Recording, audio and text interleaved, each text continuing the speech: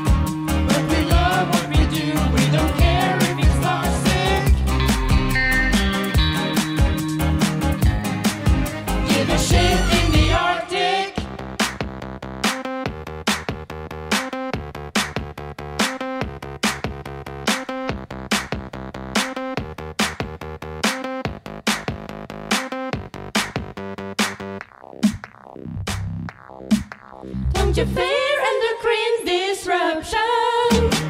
You'll be